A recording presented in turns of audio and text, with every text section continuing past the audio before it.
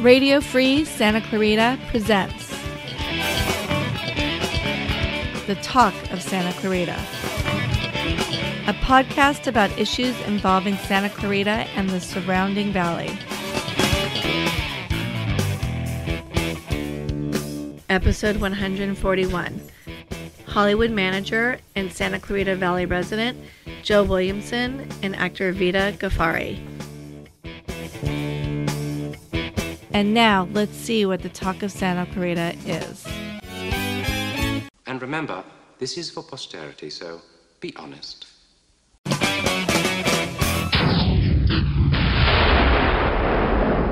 Okay, thanks guys for uh, being here today. Um, we have uh, Joe Williamson, manager and resident of Santa Clarita Valley, and uh, Vida Ghaffari, right? I got Yes, it right. Yes, you got it right. all right. And that, um, what is the origin of the of Ghaffari and, and Vida? Is that those are kind of unique names? Well, I guess we do have an hour. you know, my family is of Persian heritage. Okay. And Ghaffari is actually a very old Persian name. It's like Smith and Farsi. And Mm-hmm. I come from a very old Persian tribe, the Ghafir tribe, which now is Ghaffari. So there's still a lot of Ghaffaris, you know, in the Middle East. And Mm-hmm. I'm proud to be a Southern California Ghaffari. So, um, yeah. Uh, it's funny uh, uh, when Joe sent me your bio, and and it said of Persian descent. I the first thing I expected was you were going to have an accent. And, you know, Oh, like yeah. I'm going to talk like this. Yes. Well, that's more Russian. so, So and and uh, Joe, you are the, uh, Vida's manager, right? And you run your own management company out, out here in San Clarita, or do you are you and uh, do you commute? I, I commute, but I do a lot of it out here. Um, I'm a manager. I'm also Vida's uh, publicist as well, and also I do uh, a little bit producing on films as well. Yeah, you are uh, a, a kind of a, a, man, a jack of all trades, aren't you? When you do your thing, right? he wears many hats. Exactly. In this town, you have to wear many hats to get things done. It seems like. How long have, how long have you been a manager? Uh, I'd say since 2014. I'd say since 2014. Yeah, around there. What were you doing before then? Um, I was just a businessman. and you just jumped into it, or Well, what happened was uh, basically, yeah, I uh, uh, always was a fan of the classics, you know, and I love a, a, a big movie buff, and um, I was a big fan of the Rifleman. And I, I knew a friend knew uh, Chuck Connors' son, the rifleman, uh, Jeff Connors, and he, he arranged for us to meet. And he said, you know, you should get into the business. And he always wanted me to manage, and you know, you'd be great at it. And and so I one day decided to give it a shot, and uh, I became a natural and fell in love with it. yeah, yeah. Well, you do, I, and and I I say this because I am one as well. But you strike me as a movie geek. Yes, I am. Yes, I am. And it, it, it's funny. For years, I was always a movie geek, the movie nerd, Right, right. what have you. But now, it's now I can get away with it because it's part of my business. But I am known as kind of like a movie buff and all that. Honey, it's work. It's work. I swear I've got to watch this movie. It's work. Exactly, it's my job, you know, to watch all my clients' films and and. Uh, uh, but it, it, like I said, I'm very blessed, and um, and like I said, it just. Uh, uh, you know, lucky to be where I'm at and what I'm doing. It's, Yeah. a, it's a lot of hard work sometimes, blood, sweat, and tears, but it pays off when, you know, when you get a project completed and gets released, and you know, and it does well. or not. I think a lot of people are like they assume a manager is an agent, Mm-hmm. you know, um, and there's a radical difference in a lot of ways. Wouldn't you say? Or, a big difference. And I've, uh, you know, I've heard people say, "Oh, I want you to be my agent," and they, they, I've been called agent several times, and I always have to correct them and say, um, there's, "I'm sorry, I'm not an agent. I'm a manager. I don't do, you know, I, I, I don't have an agency." There's, you know, there's a big difference between the two. You know, like the agents get the breakdowns and different things like that. Yeah. Why a manager does not. Yeah. And, uh, but yeah, you're right. And I, I've had to correct. Uh, you know, I uh, don't mean to be snobby or anything, but I always have to say, no, no, no, I'm a, I'm a manager, not No, agent, because then I'll get in trouble too. Because you- Yeah, they you have know. they have the ATA board. They have there's all sorts of things with SAG-AFTRA. It's just Uh, completely and, different. and just so people know, it's like uh, it was like a I don't know, like a, it's kind of a loophole in a way because uh, they became a situation uh, years ago where a, they decided agents could not produce pictures or have their names on Yes. pictures. So managers kind of evolved out of that because they can produce and manage and, and work with you know actors and help package deals at the same time. So it's a little bit of loophole. But the, I think the big difference is really that the, the way I always I used to work for managers. So, uh, but the the way I used to explain it to people is that the uh, uh, an agent might have a client for a year, two years, three years before they jump to another agency or whatever. But a manager might have somebody for 22 years. Mm-hmm. You know, it's a long-term investment on something, right? I mean, would you is would you say that something? Or, or, am I wrong on that? Or uh, With me, you're 100% right. I, uh, uh, most of my clients have had for several years, Mm-hmm. and uh, you know, so it's just it's just it's pretty much the same group. yeah, and Vida is one of your clients. Yes, very lucky to be one of his clients. He's he's a great represent representation. It's wonderful Mm. to have him represent you because a lot of times I think actors get lost in the shuffle. Yeah. And with agents, it's always about the next audition, whereas with managers, it's more about building your career. Like every And time I- strategizing for it, exactly. yeah. So every time I get a party, it's like, "Well, how is this going to help you in the long run, as opposed to it being a paycheck, or as opposed to it being something you put on your reel, or as opposed Right. to just standing out on IMDb? It's like looking at the big picture, which Right, is quite right. nice. And Yeah. you know, he has a business background, so it's very helpful. Well, yeah, I, I- I think another great example would be uh, Johnny Depp's career, who Hmm. for years did a lot of indie stuff by choice, and his manager was directing him toward that stuff, and um, you know, then it ultimately turned to what he did with uh, Pirates of Caribbean and things. Um, but um, and and uh, the, I, you're from Maryland, right? Is that- Yeah, born in D.C., raised in Maryland. Yeah. yes. Okay. And uh, did you always want to be an actor, or? Yeah, you know, I was a journalist back east because I think in D.C. you have to be either a politician or you talk about politicians, Mm-hmm. Yeah, or you're yeah. a lawyer or a lobbyist. But I minored in theater at University of Maryland, and the Okay. interesting thing about that is everything comes back full circle. The guy that built the Black Box Theater that I performed in at Mm-hmm. the University of Maryland runs the SAG-AFTRA Conservatory, Carl Warren. So one of the first things I did when I joined SAG was I joined the conservatory, and then it was this guy. He's like, "Oh my God, you're a Terp." So it's it's nice knowing that, and, and University of Maryland, believe it or not, has a very strong alumni. So it's you know it's it's great. You know they have lots of events and, and all sorts of things, and I'm like, well, they're always trying to compete with Syracuse. I'm like, well, why don't you guys do showcases, or why don't you do this, or why? Right. Don't, they just spend their money in like ridiculous other ways. they're really into crab, of course. Right, right, So we have like these big crab fests, and they you know ship the crab from Maryland and. But you know, it, it, I'm like, well, why don't you just do industry showcases, or why don't you do Right, like? right. There's like two big casting directors that went to University of Maryland. No such luck. So, um, I come from there originally, but what I did out here was I worked for some TV stations, and since I'm Persian, Mm-hmm. I would work for some Persian TV stations, and they're broadcast internationally. I work for like the three really big ones. One of them is ATV, another one of them is Gen TV. These were Mm-hmm. really big stations, and it, you know, broadcast everywhere. And just as a journalist, I mean, not just Uh, as. Well, I had like a, I would cover like red carpets. Oh, okay. Mm-hmm. So I had like my own shows, and it was mm-hmm. quite nice. I would do the work in English and Farsi, and it was quite nice because they say I said that I would do twice the work and uh, half the amount of pay because you know it's in different languages. Right, yeah. So and then I had another show where it's like um, Ion LA, where I would go to like the Getty Museum, and uh, it was it was a wonderful experience, and I, you know I got to meet a lot of people. But the cool thing is, one of my editors really liked my voice, Mm-hmm. and he's like, "Why don't you do promos?" So I do the promos in Farsi and English, and once again, twice the work for half the pay. Mm-hmm. Right. But it was great preparation, and then he put me in touch with a friend of his that had a studio, and then he's like, you know, I'll put something together for you. I mean, it's not professional, but then I was like, you know what? I'll start taking classes. I started taking voiceover classes, and the voiceover bled into the acting, and I started doing more voiceover and more acting. I actually did promos for a little while, and that's very rare for women to do promos. Mm-hmm. I've done commercial narration, industrials, as I said, I've done animation.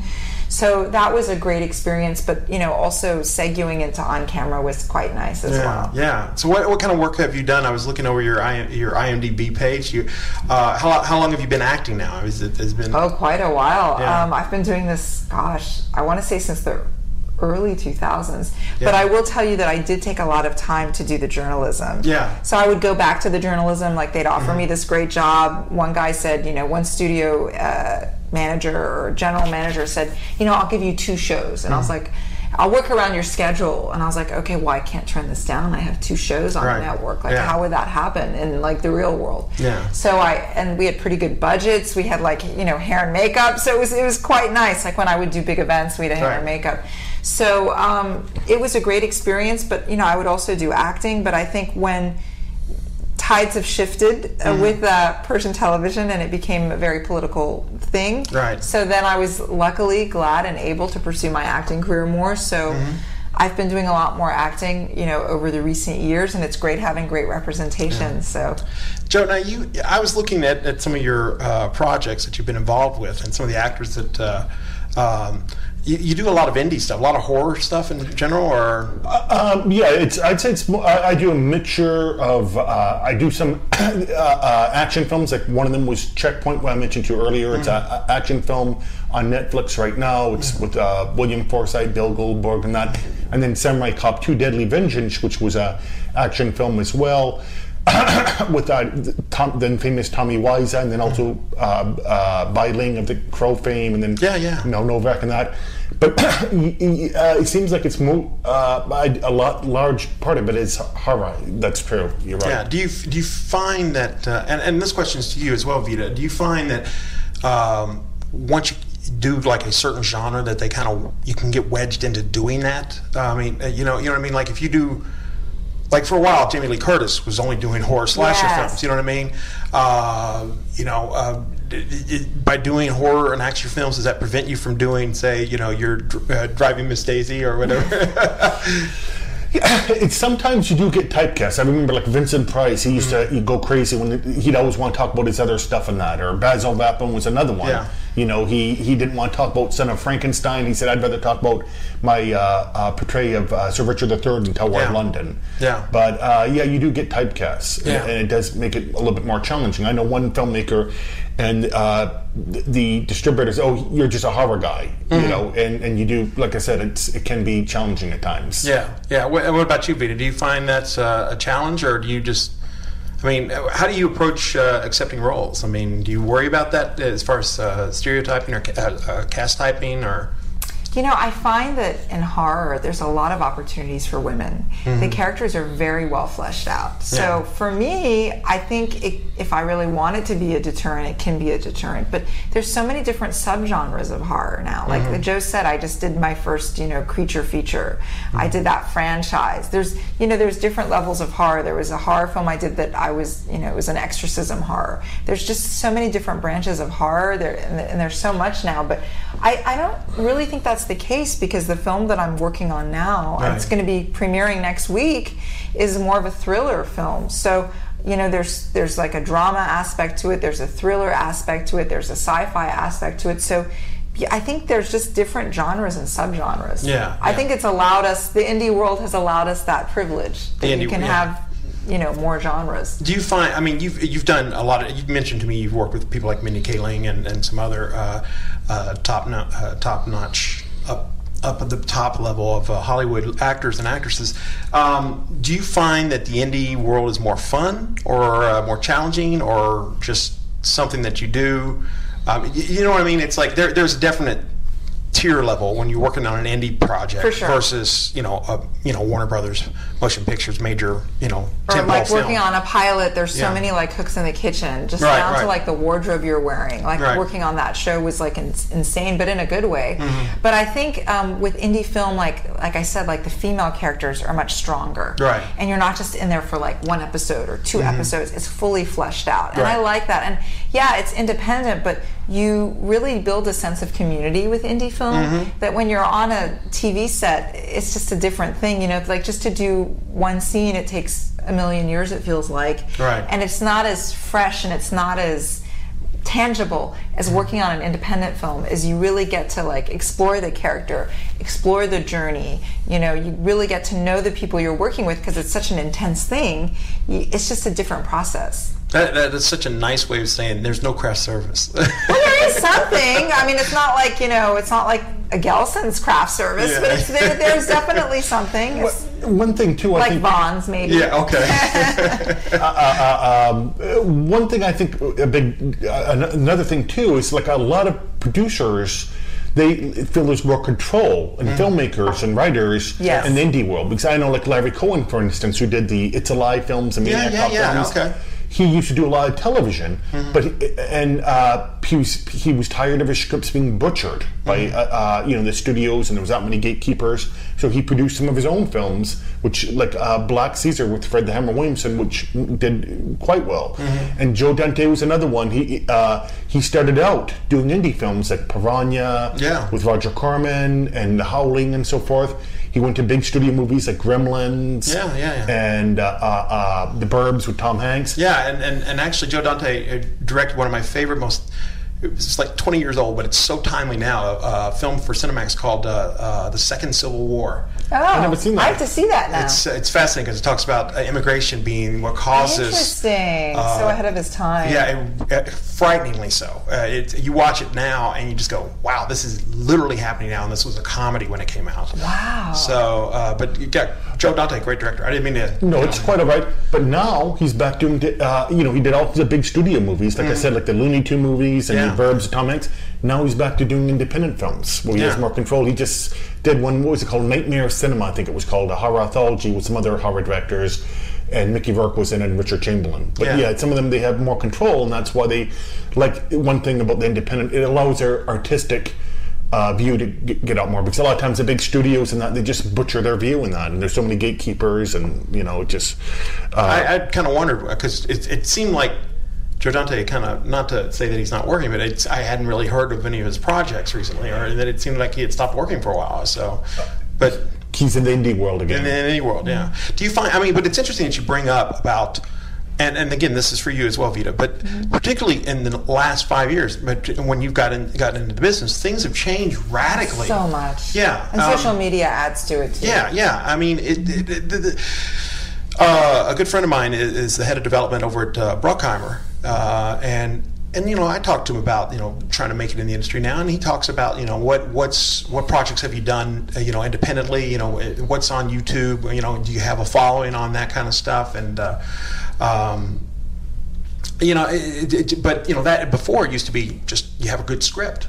You know what I mean? Um, I, I- but it seems to me like, you know, particularly in the indie world, there was always, uh, you know, a VH, uh, VHS. I'm dating myself, but you know, there was. hey I remember the betas Yeah, the betas. Okay, uh, the video, the video market. You could always go direct to video or something, or the drive-ins, even. You know, like with the old. Uh, uh, uh, um, I don't know what is it? What is, I'm struggling for the term. Um, but- grindhouse movies uh, what did, what did, what did the Tarantino film that he did with Robert Robert, Robert Rodriguez? Um, From Dusk Till Dawn. no, no, no. Uh, it was like a. Oh, never mind. uh, This man is like a human IMDb, much like the you one- probably are. uh, so Planet, you probably know. Planet, uh, it was the two parts. Kurt Russell was Yes. in it, yes, and Sybil Danning uh, did one of the clips. I think I, I know Death Proof. I think it was called Yeah, but it was combined together. It was called. Um, Exploitation or, or, or uh, yeah, but it was God, based on the. Yeah. We're getting off on a tangent. Gotta have a movie Grindhouse trivia movies. night. Grindhouse movies. That's the term I'm looking for. Thank you. Um, yeah, there, there was the Grindhouse movie uh, audience as well. Um, but all that's kind of disappeared now. But on the other end of it, there's streaming with Netflix and Hulu and Amazon, and, and it seems like Netflix will just, you know, buy anything these days. Yeah. Um, I sent them clips of my kid, you know, uh, eating porridge, and they There bought you it. go. They bought it. Yeah, uh, it's, it's available on Netflix next week. There you go. Um, Can't wait to see the promos. Has has nature of the business changed as far as like how you approach putting together an indie film now, or There's uh, uh, there's st- so many platforms now. You know, like Redbox is another one, Netflix, Yeah. like you said, and that, and then Amazon, of course, and, and, and, and all so many different digital uh, platforms and that. And uh, uh, so there is a lot of areas to go to in that, and uh, the distributors. One thing that they're really into is the IMDb ranking. You know, they'll say, "Oh, this person here, he's, he has no value," or you know, if they're under five thousand or something like that and uh, uh, so there's you know different things that the distributors recommend and suggest and stuff and how you promote things. and, and how you promote things and so forth too but one thing about the independent films is there's a lot more freedom you know because with the big studios you were saying how you know you just had a good script nowadays with the big studios it's just they want to do marvel movies or just they remakes pack- and- they, and, or they want it packaged completely before they even decide if they're going to greenlight it. Exactly. It's just it's just a, a reboot of a franchise. It's just, it's almost why with independent films there's much more freedom to get things done. And uh, but yeah, instead of the drive-ins now they have Amazon Prime and Amazon Video and, and Netflix and, and Redbox and what have you.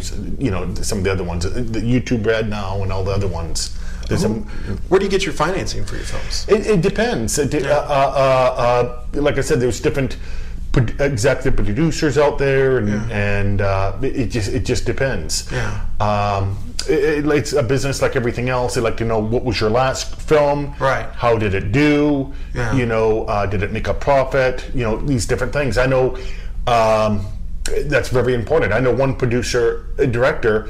And it seemed like he'd burn every bridge he went to. Like uh, there was one project he got fired on, Yeah. and then they had to basically re-edit it and, and get somebody else. And then there was another project he did, and he. Uh, uh, when he was supposed to have it edited and stuff, he, he wasn't even returning the money person's phone calls and his texts.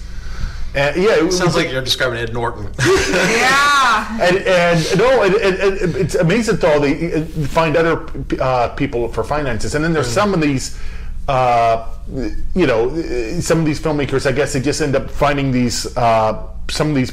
Uh, distributors and that, and they just want it done cheap, and they're just looking for filler, how fast you can get it done, how Right, cheap. right. They don't even pay for a trailer, you know, and they just shoot it out there. Yeah. But um, there's ones like that too.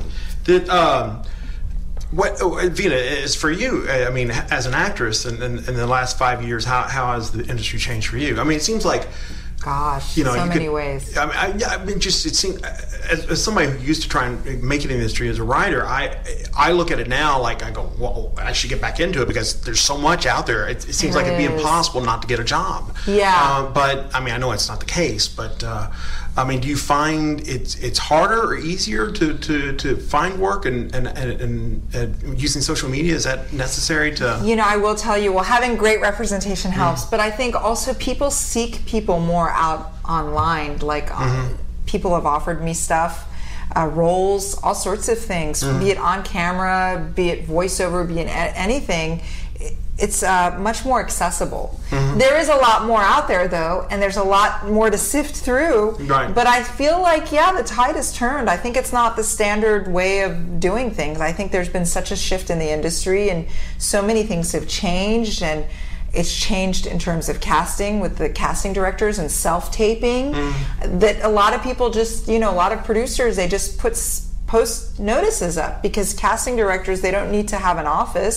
Right. they just do the self tapes now. So it's really revolutionized things for me. So instead of you know driving around town Mm-hmm. even for big stuff you're self-taping. You know you i go to a friend's studio. Once in a while i'll do it at home but it's just totally shifted. And you just send the tape in or, or, the, or the file in, and you they- send the file in. I like to go to like i have a friend who has a professional studio and i like to record it there. And we Yeah. Mm-hmm. have a good rhythm with each other. So yeah but it's uh, even for television you know for feature films self-tape self-tape. So it's really you know radical. A friend of mine was telling me that they had an audition for this is us which is a major network Sure, show. yeah, yeah. and they had to self-tape themselves so i thought that was very interesting Yeah, uh, uh, well, I, my experience with casting directors is that they want to do the least amount of work as possible. Oh, yeah, I don't know. I think it depends. See, I can say that because I'm not an actor. Oh, right, right, right. but um, and and uh, what what kind of genre do you prefer to work in? Do you, uh, do you have a preferred? You said the horror con- uh, horror films in general are, are very um, uh, ge- generous with the women's roles. Yeah, you know, I really, I have to say, except for getting bloody, I really like horror, and I feel like the most compelling roles I've played in are, are horror and sci-fi. Like uh, lately, I've played scientists. This is my, I just had my third scientist role, and my dad was a very well-known scientist, or in scientist, excuse me. He was a very, in, in those cultures, scientists are, and, and mathematicians are like Michael Jordan or Kobe Bryant. So my dad was just very renowned. Eh, you know, they, they, I remember I saw, I was going through old pictures and my dad was like, there was like a, he was a professor emeritus at the University of Tehran, which is kind of like being professor emeritus at like UCLA. Mm-hmm. And they had like, they were all sitting down and beneath them, they were like in their regalia, there was like this really nice Persian rug. and like, there's like, you know, like fancy dancy people there. I mean, I don't even think Kobe Ryan, Kobe Bryant, like, sits on a like you know his chair is like on a Persian rug. So my point in telling you this is not to gloat, but they were treated very special. Right, So right. for me to play a scientist, it, it has a very personal meaning for me. Mm. And uh, the first role I played a scientist in was Eternal Code, which is premiering next week at the Chinese Theater. We're Very gonna- Yeah, I was going to talk about that. Yeah, absolutely. So I was really over the moon to play a scientist in that one. And, you know, that's not a typical role that a woman plays. And she wasn't like a square scientist. She had a compelling story and she definitely had her own MO. So that was quite exciting to play. And I'm very grateful to the fabulous uh, multi-award winning Harley Wallen for the opportunity and it was great to work on that film we had amazing actors we had uh, Richard Tyson, you know, from Kindergarten Cop, Scout Taylor Compton from Zob- Rob Zombie's Halloween 1 and 2, Billy Wirth from The Lost Boys, uh, Katie Wallen from Betrayed opposite John Savage, Jan Birch from Wes Craven's The People Under the Stairs, and of course the legendary actor Mel Novak from Bruce Lee's Game of Death. And it was just an amazing, amazing cast, and I felt very honored to be a part of it. And uh, it was just a wonderful ensemble. Wasn't uh, Richard Tyson? Um, wasn't he Buddy Revell in Three O'clock? Yes, he was. I love Buddy Revell. I would call him Buddy Revell when I met him on set the first time. I said, "Well, well, well, if it isn't Buddy oh, Revell, Oh you my know, beat me up." And he was like laughing, and he's like, "That's hilarious."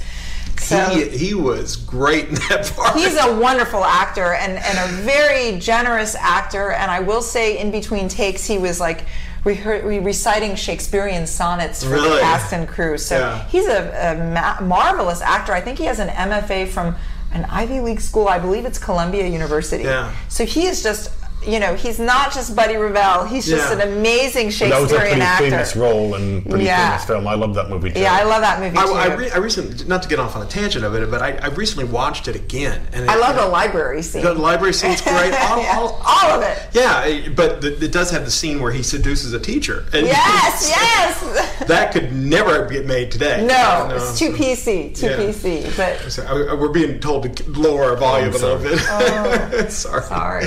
That's okay. We're so excited about Richard Tyson. No, but it's there's so many movies that gets made and go, you know, over the years and they just disappear and disappear. You know, And that's a thousands. classic. That's a And That's one of the few ones which just stick around and become famous. Yeah, Phil Joanou film. Uh, I believe it's how you pronounce his name, Joanou. Um, who I don't know what he's doing these days, but uh, do you know? You're the you're the film geek. That one there, unfortunately, I'm not. Uh, I know he did the Rattle and Hum, the U2 film, and uh, and uh, uh, a gangster film that came out right after, right when Miller's Crossing came out, the Coen Brothers film.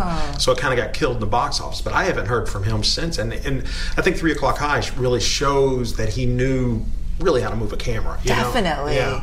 Yeah. yeah, so. just the anticipation for three o'clock. yeah, yeah, it's a, it's a really well done film. So it's some of these filmmakers. It's hard to see what happens, and you know they, they do some famous films, and then they just it's a tough business. Yeah. I mean, like Steve Gar- Carver. I don't know if you recognize the name. He did some famous movies. He did uh, An Eye for an Eye with Chuck Norris and Mel. Yeah, yeah. He also did Lone Wolf McQuade with Chuck Norris and David Carradine, which is one of my favorite classics. And he did a couple other films, and they just disappeared. You Yeah. know, it just uh, and then went into something else. It's like I said, it's hard to uh, you know keep out there like that. So Yeah. sometimes these filmmakers, I guess, they get burnt out. yeah, yeah. I mean, I, do you think there's a secret to longevity, Vida?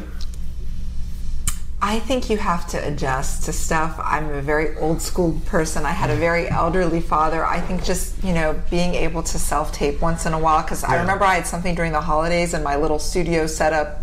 The guy was out of town, and I'm like, oh, I better record this myself. So I think an actor or a filmmaker or anybody, you've got to be industrious. You've got to use social media. You've got Yeah. to put yourself out there. Um, I will say there's even a lot on Instagram, on Twitter. There's just so much. It's like Yeah. people find me there, and uh, it's it's interesting how it goes about. But you've got to be you got to be up on this stuff You got to constantly um, and you know, reinvent yourself. you constantly have something out there, and then it has to be blasted all over the place. I know Joe Dante. He d- spends a fortune on uh, uh, press releases on every single project he does, and just you know he's you know It's an blasting it investment out. in yourself. Exactly, this business you have to do that, you know, Yeah. and um, that's you know that's they just try and keep. That's like Tom Holland. I don't know if you remember him from Child's Play and that. Child's Play and Fright Night. He's got a, a new movie came out too right Really? now. What's it? What is it? It's called Rock Paper Scissors. Okay. I like that name. Yeah, it's it's it's uh, it's out right now, and they've been trying to blast it out and that. You know, hitting the, Yeah. it's it's uh, they got Michael Madsen in it, and the very first Jason Voorhees. I forget his name. Already. Uh, Flanking on it as well. I can't remember, but he was the very first Jason. You know, when he was Yeah. Mm-hmm. a kid, he jumped out. Yeah. but he's in it as well. I worked with the second one. I Yeah, think. but you got to Moran. Okay. Yeah, yeah. Tony Moran, I believe his name was. some of these people they think oh, I'll just do this movie and, and that's and that's enough. No, No. you, you got to blast it out. I'll never forget. There was this uh, actor producer I knew. His name is Ron Pinnell. He did a very famous martial art film called No Retreat, No Surrender with Jean Claude Van Damme. It was a huge success. Right. And Jean Claude Van Damme went on to be a star, and he didn't. I said, Ron, what, what happened? Why didn't you go on? Yeah. He said, I had a big ego at the time. I thought I was the star of the movie, I had this big hit, and they'd all come to me. Jean Claude Van Damme was smart. He then got Never a, heard of Ron Parnell. no, I'm sure, and, and you're a movie buff, Yeah. and I'm sure you you probably remember the movie, but not him. And he never hi- hired up uh, Van Damme. Immediately got himself a publicist, a manager, an agent, and he pushed it, and that's how he went on. I think, um, and, and a lot of people don't realize that, like, you know, Tom Hanks works a lot because Tom Hanks is a really nice guy. Yes, I think You that know, helps people too. want to work with Tom Hanks because he's a nice guy. and he seems like he'd be stable too. yeah, uh, as opposed to, um, you know, I don't know him, so I don't care. But Val Kilmer is supposed to be a little, you know, wacko. Well, I You learn a lot about people from Yeah. open bars. I hate to say it. some of them, their egos and being difficult Mm-hmm. can destroy their career. Look at Steven Seagal. You know, he he- they said everybody says how unpleasant he was. exactly, that's another good example. or, or there was another one. Um, what was his name? This is way dating. It, uh, Don Red Barry. He did uh, the Red Ryder movies. Oh, oh, yeah, yeah, okay. Um, they used to call him the Cowboy James Cagney, Mm. but he, he brilliant actor. He was fantastic, a great actor. But he was so difficult on the set that nobody wanted to work with him, and his career went downhill. It's a shame. You- you- It's, it's like you said, it's a combination of things. You got to be a great actor, but you also have to be a good person as well, and A good business person. networking skills, and then, like I said, business. blasting. i- Exactly. I want to be Jim Cameron because he's supposed to be just a nightmare to work with. But Oh, he's- really? Yeah. Oh, he's supposed to be horrendous. But on Oh the yeah, other then they do takes like a million times or oh, something. he's, he's known to just. I mean, like Ed Harris. Uh, so is David Fincher.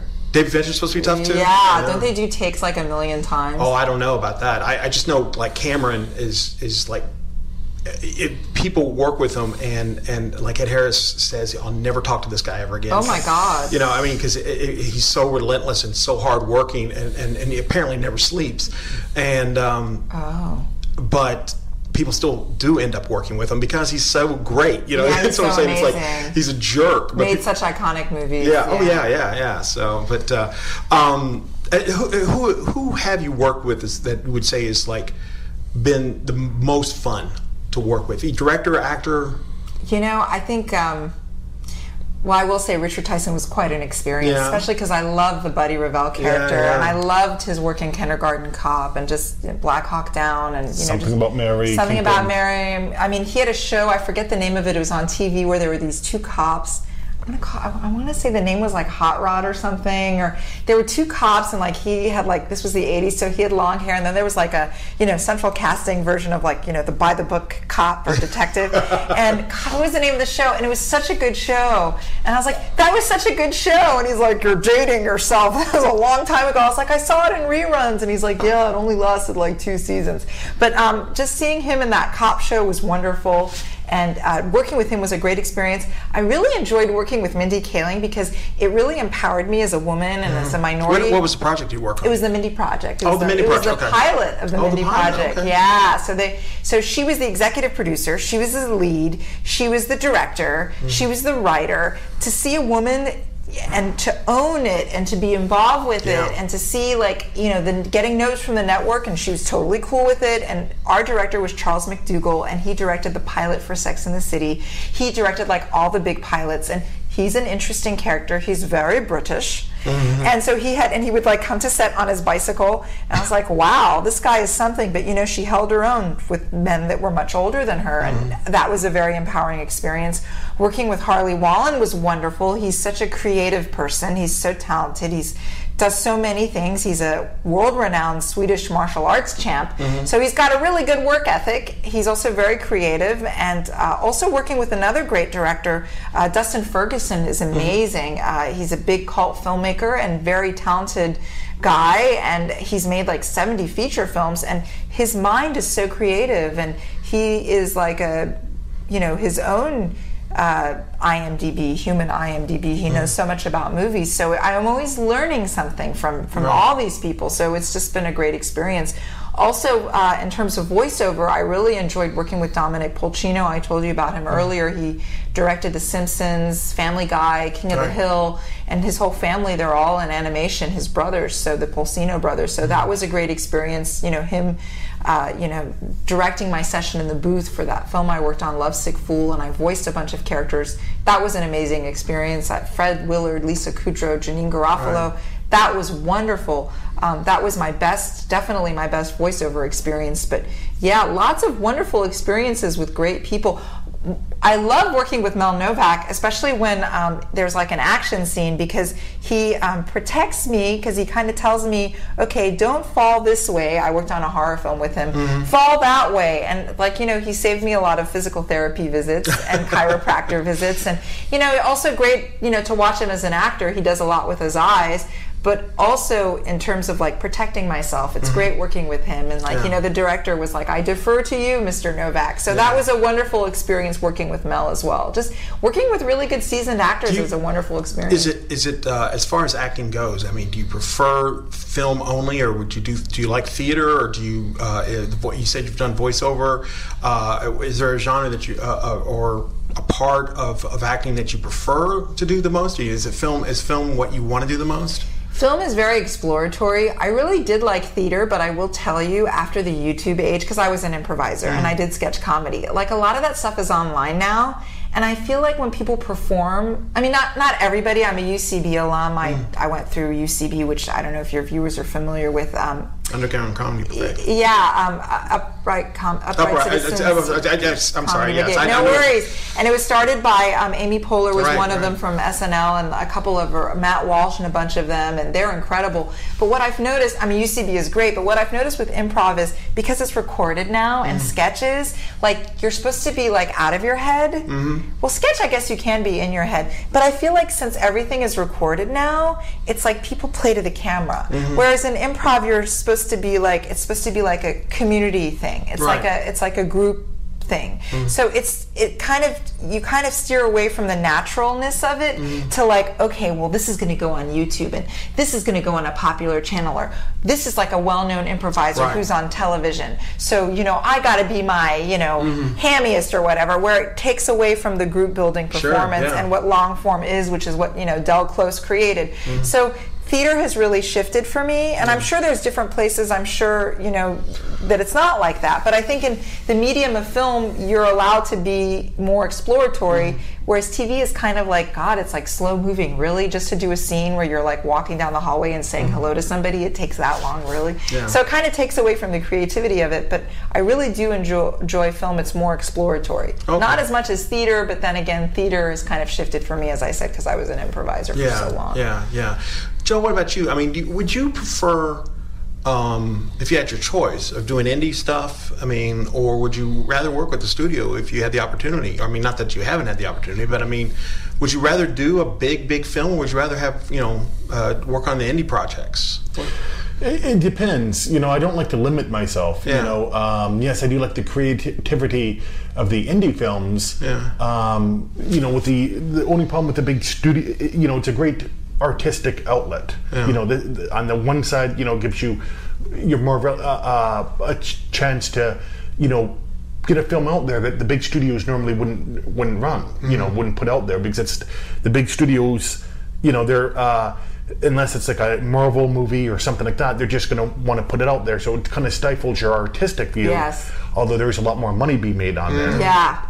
But at the end, you sell your soul because you're not allowed to be a, as an artist. Yeah. Um, and plus that too, it's easier to get. Um, you know, there. Uh, one thing about the indie films is it's easier to get like. Uh, a green, they'll take a chance. It's like Roger Corman on Death Race 2000 Yeah. The uh, a movie like that, a big studio would have never, you know, uh, given green light. They wasn't going to invest all that, invest so much money on it Mm-hmm. being green lighted. But uh, indie film, you know, when it's less money involved, of course, Yeah. it has a greater chance of being green lighted. Yeah, yeah. And, uh, and, and and like I said, it, it, indie films it gives you more of a chance to. Um, get things out there that normally wouldn't get out there. But Right. uh, as the question, though, like I said, it's it's, it's I like a happy medium. Naturally, it has you know you have to be accountant, of course, too. But at the same time, you have to be an artist, so it has to be like half and half. Um, but like I said, it's it's it's uh, they both have their pros and cons. Like I said, Sure. that's where the money is. The big studio films. Um, with indie films, it's more of artistic. You know, Yeah, you- you- Well, I, I suppose that you know, like, I mean, would you would you want to play a character in the Marvel Comics universe? If I you would wanted to? love to. Yeah. I would love to. Yeah, I, I, I would, I would assume that you know a lot of people. It's a lot of working out though, but sure. Yeah, yeah. A lot of protein. I saw that girl Brie Larson move that SUV. I don't know if I could do that. Maybe I don't know for the right price. But I mean, it, it does. I mean, the paychecks that you get allow you to go off and, and with the name and that recognition and the paychecks will allow you to go off and do indie projects or whatever you want, which is what Clooney did. You know, after he did that Yes. horrendous Batman and Robin movie. Yes. Uh, he said, you know, it, okay, now I can. I've got enough money. I can wa- do what I just want Very to do. profound political movie. You know, I know like um, Peter Lorre, for instance, Hollywood just kept on wanting him to play the same kind of role over and over Yeah. again. And he said, uh, you know, that's like he was doing these popular films, Mr. Moto.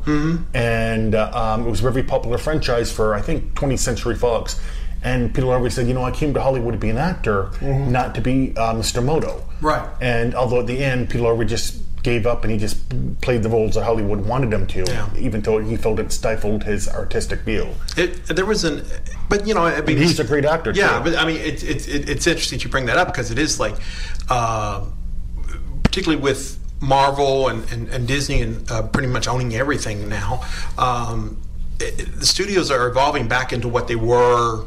70 years ago, where they're controlling the projects more so than even the directors or producers are. Yes. Uh, I think Edgar Wright, when he was doing Ant Man, had a problem with that with the Marvel people. And I, I, I heard an interview with Jon Favreau talking about when he first directed Iron Man that, you know, like he directed the the scenes with the characters, but you know, like the action sequences were already laid out. You know, he had to work on the script based on what Marvel already wanted to do. You know, uh, and and that seems to be kind of what's happening now a lot with the the larger studios. When you say, I, when, I agree you know, 100%. yeah, it's, uh, uh, you've got to bend your will quite a bit to work with the major studios and what they want to do. So, um, let's talk about this premiere. Uh, I'm, Yes. I, if we're lucky, um, and my editor's fast, uh, we're going to get this up before the premiere.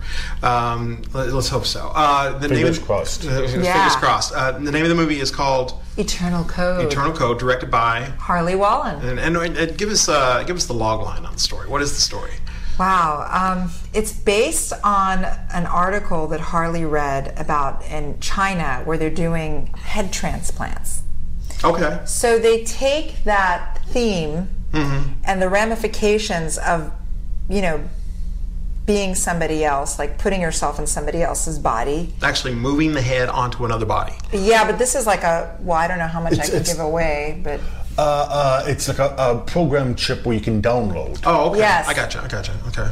And you can just get into another body. So, you know, with all the billionaires out there, this could be a good thing or it could be a bad thing. Like, uh, it's more about, I like the psychological ramifications of this and the societal and the sociological ramifications, which, without getting into too much detail, Harley certainly explores. Like, this is for like, uh, it's like a caste system almost, where the wealthy can, you know, get Yeah. ownership of the poor and, you know, get into another body. So uh, it's very, it's a very interesting take on you know somebody that's as well read as Harley to, to discover something like this. And I play a scientist, Nikita. Okay. And there's a lot of uh, moral questions brought up. you Yeah, know, like- lots like, of moral questions, You know, and socioeconomic issues. yeah, so and uh, uh, so it's, it's, it's and it's so like I said, it's a, a great action suspense thriller. And it's a, and and and, uh, and there's a lot of great action scenes in, it, a lot of uh, great performances, and it's it's it's a lot of twists and turns. You know, is it one of those films that you can watch and you can you know halfway through it know what's going to happen at the end? Is it? Uh, and this is uh, premiering at the Ch- at the Chinese next week. Yes, September 4th. September fourth at the Chinese. Have you been to a premiere like that at the Chinese before? Uh, last year, Harley had a premiere for his film Betrayed, and it was, you know, Joe did an amazing job. So, No, it was fantastic. This one we're really excited about. There's going to be a lot of celebrities coming. uh, international press. Uh, the, we have some Academy Award nominees. Nice. Uh, uh, we have some primetime Emmy winners. We have uh, Gil Bellows from the Shawshank Redemption. He's coming. Uh, Jake Busey's supposed to be coming. He was there last year. He's uh, he's coming again.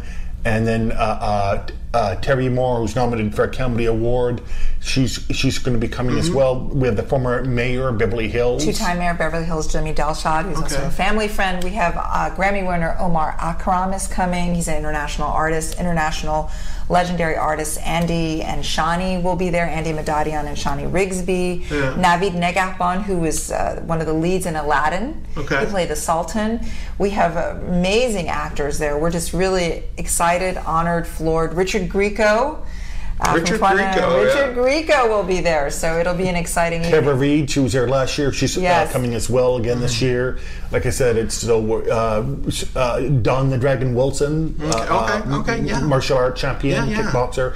He's going to be there as well. It's just it's going to be like a night of hundred stars. Now, I'm curious of just on a on a backstage, behind the scenes kind of thing. Like when you do a premiere at, at the Chinese, do you like rent the, the theater out and, and and put the project on, or what what happens exactly? How does that how is how is a premiere at the Chinese arranged? Uh, do you know what I mean? Um, a lot of arrangements. I mean, no, I mean does, does the Chinese uh, select what they do premieres for, or do does someone reach out and say we want to do a premiere there? Or? Yes, we submit for a premiere. Uh, uh, if they, you know, if they look at the project, if Mm-hmm. it meets their standards, then we're allowed to have a premiere there. And this film is also going to have a limited theatrical run. It's going to be playing in, um, I believe, over twelve different. Uh, Minneapolis, Minnesota, Nationwide. and Michigan, Chicago, Phoenix, cities across the country. So Through Emagine Theaters with an E. yeah, it's going to have a limited uh, theatrical release, so we're super excited about that. And then it's uh, afterwards, of course, it'll be released on the other uh, uh, outlets such as VOD and, and, and Walmart, Best Buy. Yeah. Harley said that there was more interest, right? Uh, yeah, there's more theaters actually uh, expanding. So, like I said, so we're super excited with this film. Is uh, is this the biggest project that you guys have been involved with, or I mean, as far as films go, or Uh, it's uh, it's definitely one of the top. Getting there. Yeah. Yeah. It's, it's definitely is. I'd say. it's- Probably will be after the premiere. That's what I'm thinking. no, like I said, we're super excited. Um, it, it, Vida gives a great performance in Oh, it. thank She- you. she- Well, I had a, a great, you know, director, a great cast, great crew. No, Harley's uh, um, amazing, and it's it's like I said, it's it's it's it's it's. Uh, I'm super excited about it, and Me uh, too. And uh, I think I'm really. It's one of those movies that people's going to think about it, okay? Now, I agree. and it's still entertaining at the same time. What is uh, what what? I I guess I, I- why do you, why are you an actor? What, what is it about being an actor that you enjoy? You know, I always felt very.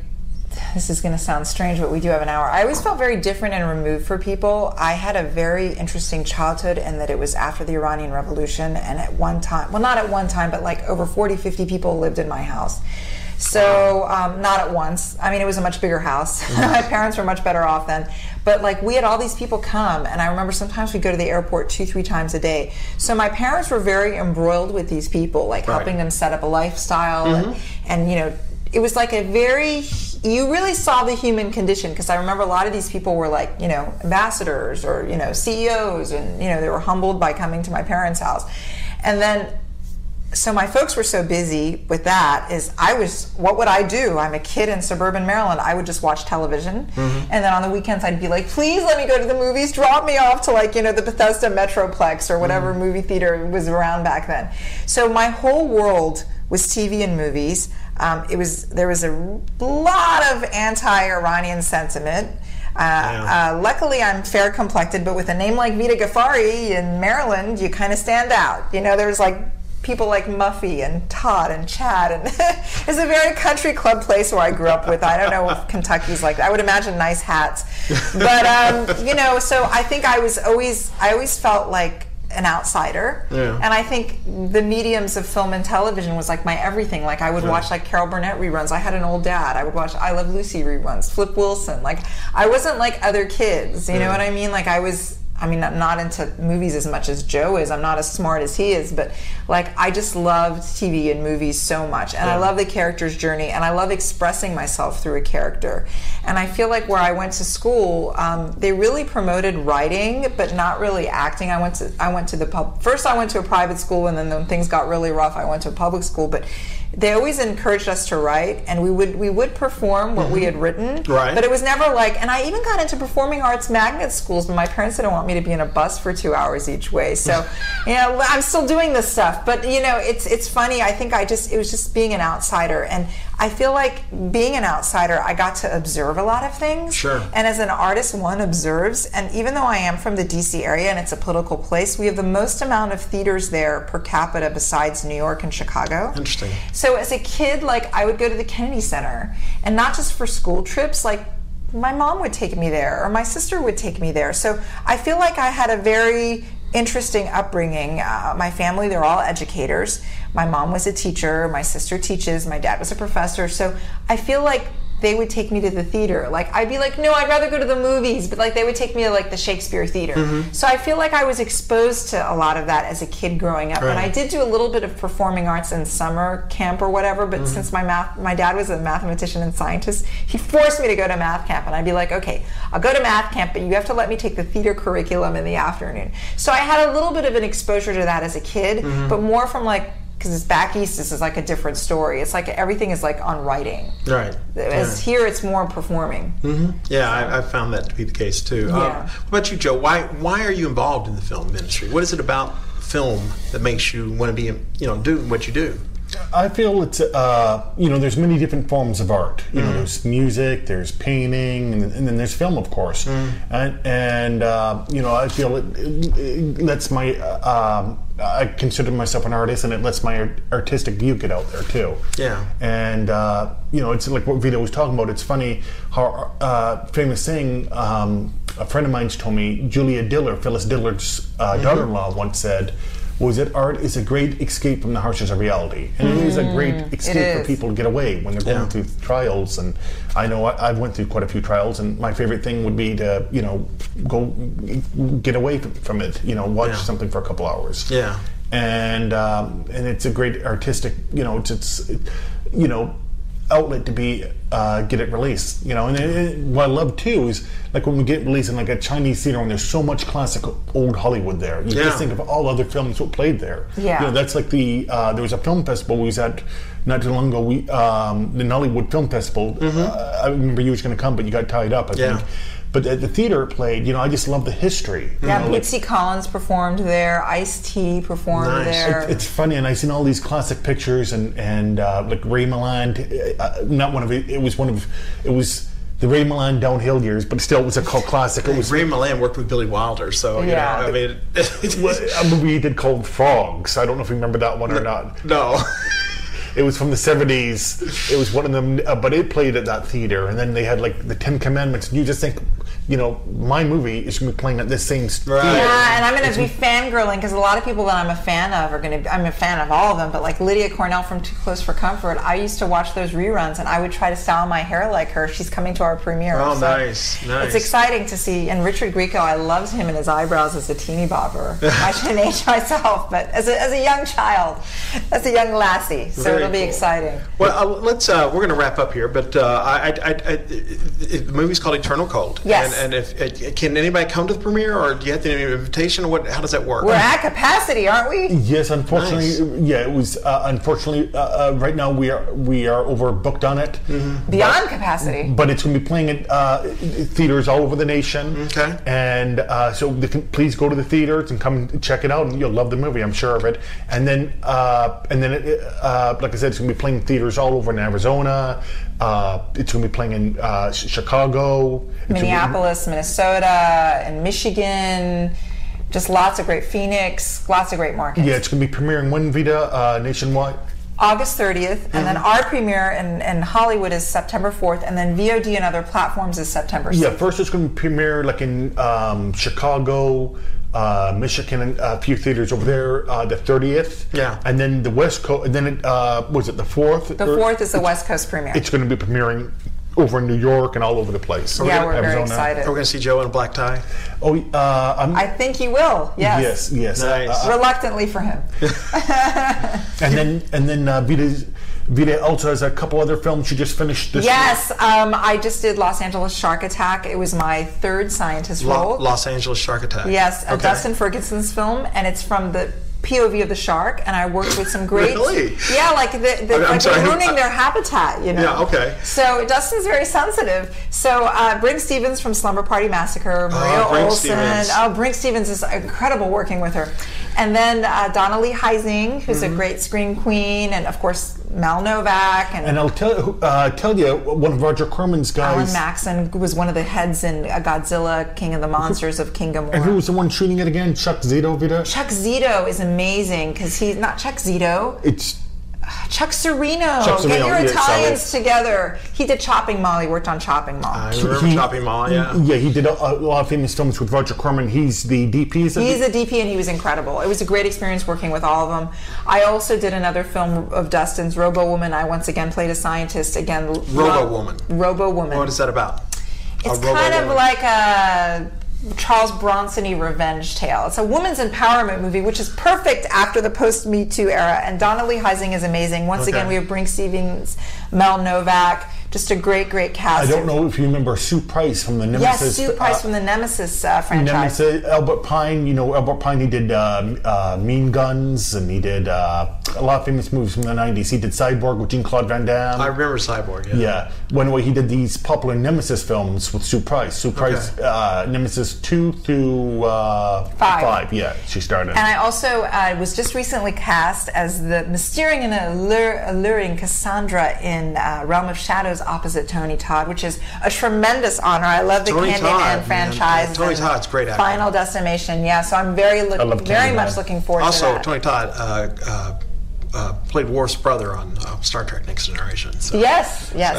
He very also was. Zoom in uh, the Flash, uh, CW Flash TV series. He was a voice for the. Uh, Oh, was that was that his voice? Yes. Oh, okay, okay. He's incredible. He's Yeah. an I can't incredible wait. voice, yeah. yeah, okay. And but I, I you know, uh, I always loved him as Candyman. Candyman. Yeah, I love Candyman. So, Joe, what is your advice for someone who wants to make it in the industry? And Vida, I want to, I want to get that from you as well. I always say do your homework. You know, uh, Look people up on IMDb. yes, there's so many producers out there, and everybody in Hollywood's a producer, and there's so many of them that says uh, uh, they'll waste your time. Scams. Yeah, scams. Look them up. Oh, you're a producer? What have you done? What I know? Go to YouTube, check out the trailers, see who they work with. Yeah. You know, information is king. IMDb is a wonderful thing.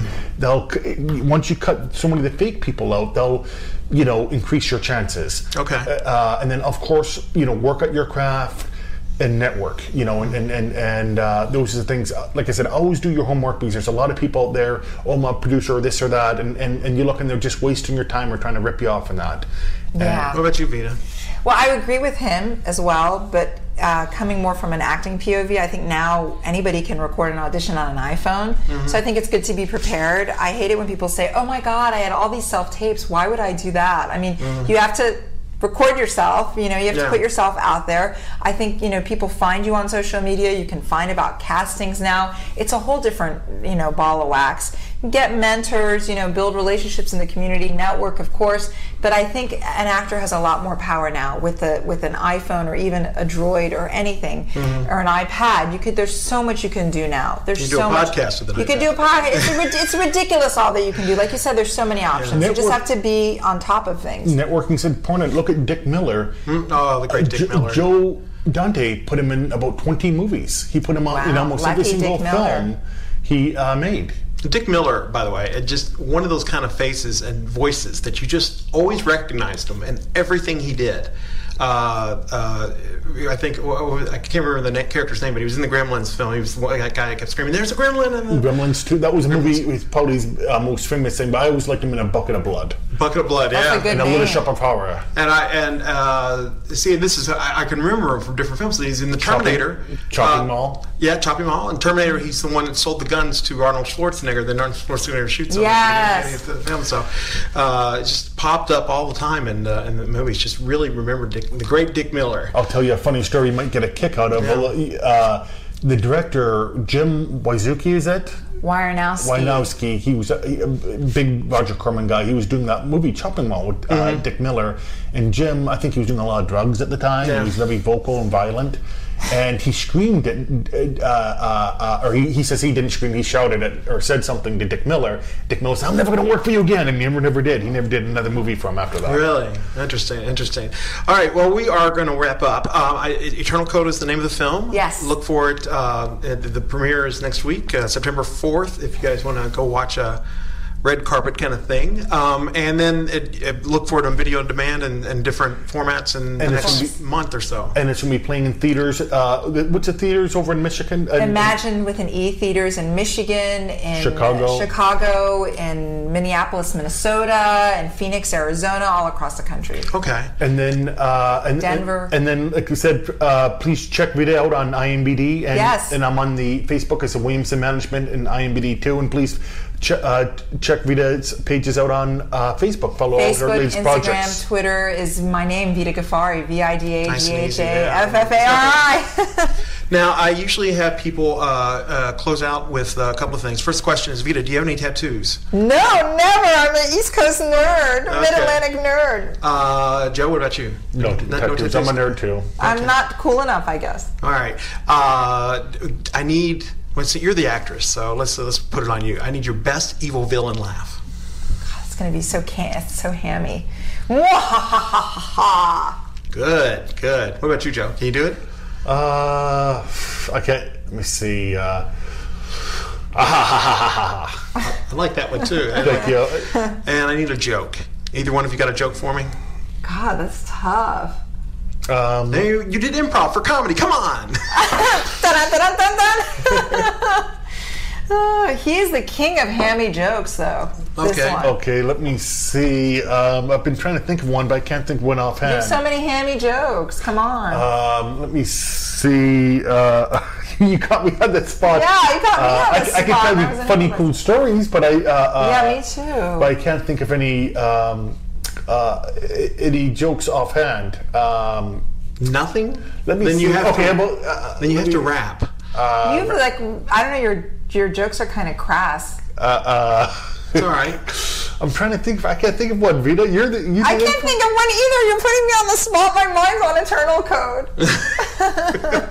I'm trying to think uh, uh, of one. Um, I'm trying to think of all the Tim Conway movies I've seen in Don Knotts. If I could think of one there. Oh wait, I got it. I got it. I, uh, I'm going to steal a joke from one of my favorite uh, uh, uh, uh, comedians of all time, Hank Garrett Okay. from Car 54 Where Okay. Why is it Jewish men get circumcised? oh my god, I knew it was going to be a cross joke. Do you know why? Why? Because Jewish women won't touch anything unless it's half off. Oh. my God. That's so wrong on so many levels. Oh my God. No, if I, hey, I'm stealing it from Hank Garrett. He's Jewish, and he's and he, he performed at the Sands. Although I'm not Hank Garrett. Wow. Uh, send all complaints to joewaitons at gmail.com. God, I'm trying to think of like a good ha- laser hair removal joke, but I can't. I can't top this. All good, all good fun, folks. Yeah. Well, Joe, Vida, I, I, I appreciate you uh, coming on the show. It's an interesting conversation, just talking Yes. about the industry in general, and uh, I wish you much luck with Eternal Thank Code you so and- and much. your other projects, I'll definitely be looking for it. Um, and Joe, same for you.